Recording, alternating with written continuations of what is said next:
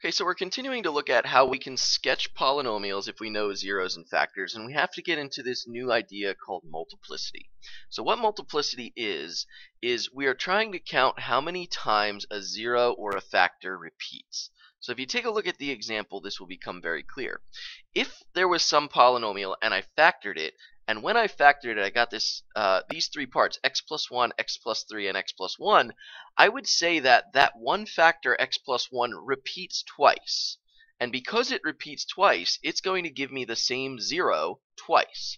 And so that's what multiplicity is basically saying is we're actually going to get the same solution from two different factors. x plus 1 is going to give me x equals negative 1 as a 0 twice. And so we what we would say is that uh, one of the zeros of this polynomial f of x is x equals negative 1 with a multiplicity of 2. And so when we say with a multiplicity of 2, what we're describing to people is that we got that same answer from two different factors. Okay, So what we're going to do is just look at some polynomials and see how multiplicity might show up right? And then we're going to see how it affects the graph. So in this first uh, group of problems, our job is just going to be to factor the expressions, and we're going to look for any repeating factors, and then we're going to state a multiplicity.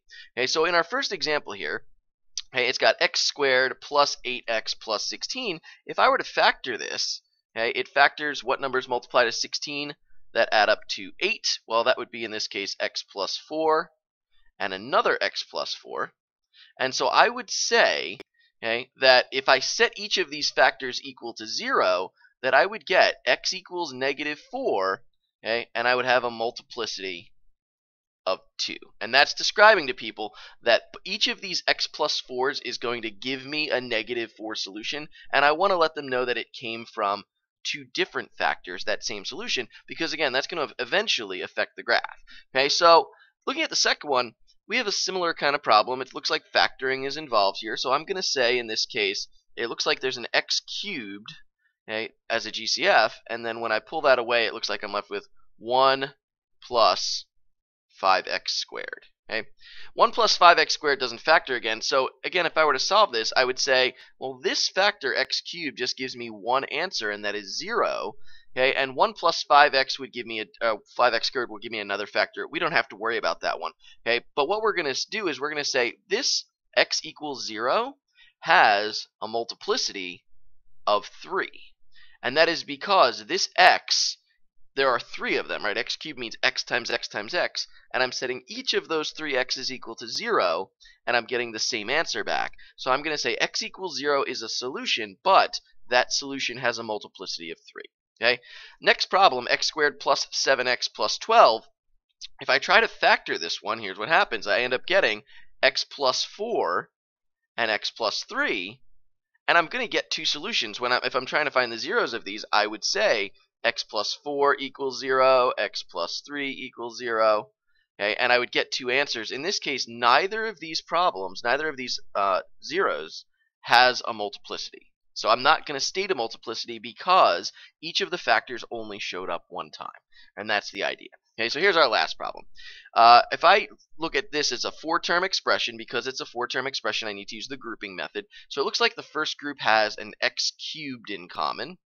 Okay, and it looks like I'm left with x plus 3 remaining after I remove that GCF. And the second group, if I were to look at it, it looks like it has a factor of 27. Okay, this is 27 times 1, and this is, I'm sorry, it has a factor of 9. Okay, so let's remove that. So if I were to remove the 9, okay, I can say this now has 3x plus 9. Oh, I was wrong. It did have a 27. Okay, so we're going to say in this case, let's try that again. Okay, it's got a 27. I knew it had a 27. 27, and it looks like it's got an x plus 3. Okay, so this is 27 times 3 would give me 81. All right, so if I regroup this, here's where I'm at. x cubed plus 27, okay, and an x plus 3. Okay, but we're still not done factoring because x cubed plus 27 is a different, uh, I'm sorry, a sum of cubes. Okay, so I'm going to say this turns into x plus 3 okay, and x squared minus 3x. Okay, eh, minus 3x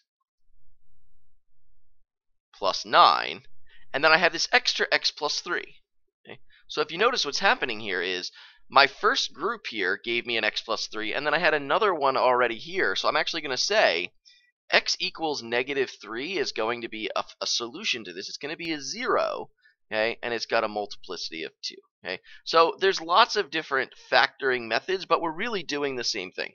And again, in each of these problems, I want to stress that, for example, 1 plus 5x squared is going to give us another set of zeros. We're not worried about that one for this example because in our problems, um, we're just talking about multiplicity. So I'm highlighting the specific factors that will give us multiplicities.